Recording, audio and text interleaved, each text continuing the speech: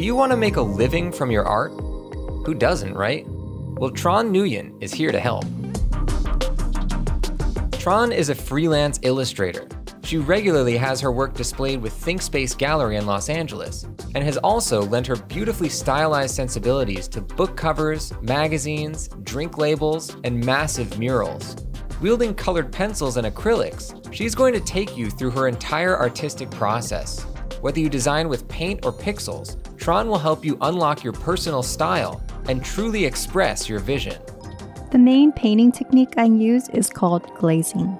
Color will be built over time by overlaying thin layers of pigment on top of each other.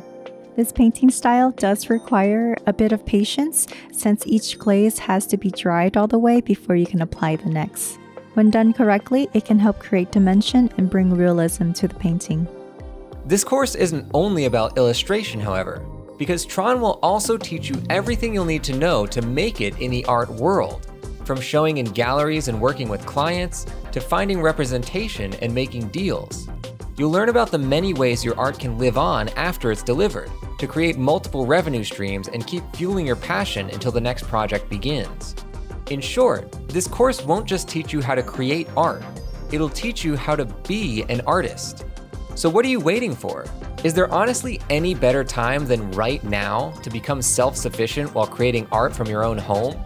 Sign up today and begin your journey at learnsquared.com.